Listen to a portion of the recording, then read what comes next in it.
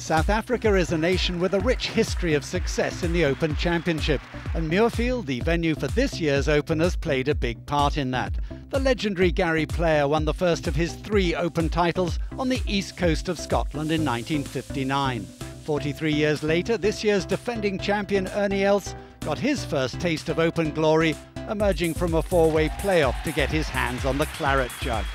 Golf's oldest and most recognisable piece of silverware returned to South Africa for the 10th edition of IFQ Africa. The trophy made a number of key stops en route for the Royal Johannesburg and Kensington Golf Club, including a visit to Nelson Mandela Square, where a number of fans enjoyed the chance to have their moment with the claret jug. Louis the man, there he is, 272.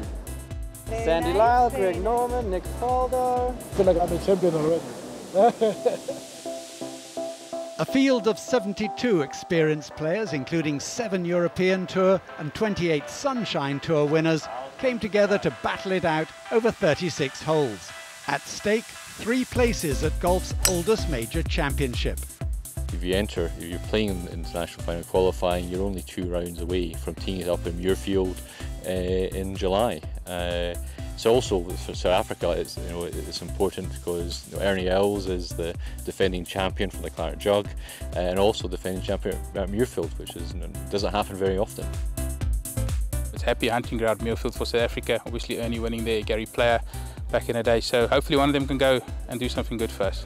After day one, it was one of last year's qualifiers, Andrew Georgiou, who held a slim advantage at the top of the leaderboard. The 26-year-old led by one shot from three players tied on six under, including fellow South African Justin Harding. Three guys make it through, and uh, yeah, I just want to keep playing golf like I did yesterday. And uh, guys are going to go low, got to keep going forward.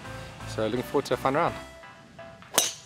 Ernie won it last year, which is also a plus for us South African Oaks. We all sat around watching it and uh, dreaming of one day being there. Um, some of us have had the opportunity to go before. Andrew Georgiou, is leading at the moment. He played last year.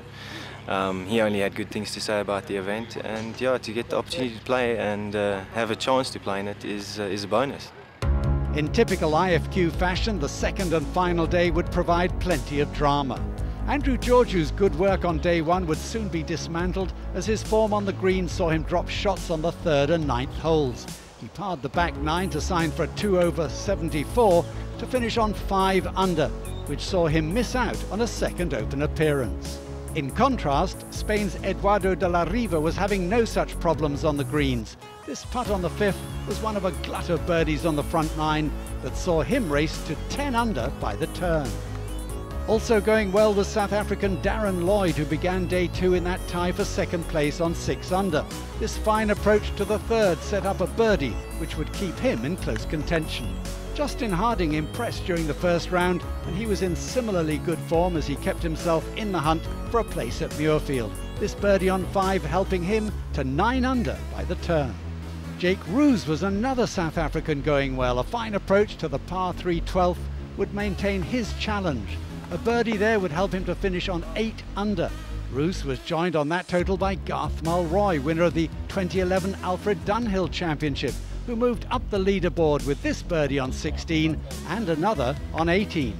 Meanwhile, Spain's Eduardo de la Riva, who finished in the top three in two European Tour events last year, set the clubhouse target at 11 under par as he followed up an opening round of 67 with a closing 66. That proved to be enough to secure the 30-year-old's very first appearance at the Open Championship. For me, it's incredible to qualifying for the Open because it's, it's a dream and, and it will be a great experience for me. With the final day building up to an exciting finish, two spots were still up for grabs. 27-year-old Justin Harding would claim one of them, this putt at the last setting the seal on a superb 64 to see him top the leaderboard on 14 under par. I haven't really played a links golf course before, so that is uh, should be a new experience but I think I will actually gradually over the next couple of months start to uh, get a bit of a tingle in the fingers and uh, actually I can't wait already, so yeah, it should be good. With Mulroy and Roos in the clubhouse on 8 under, Darryn Lloyd needed to birdie the par 5 final hole to pick the pair and he did just that to finish at 9 under par and secure the final qualifying berth. So congratulations to Justin Harding, Eduardo de la Riva and Darryn Lloyd, our trio of IFQ Africa qualifiers. And good luck to them at Muirfield this July. Happy.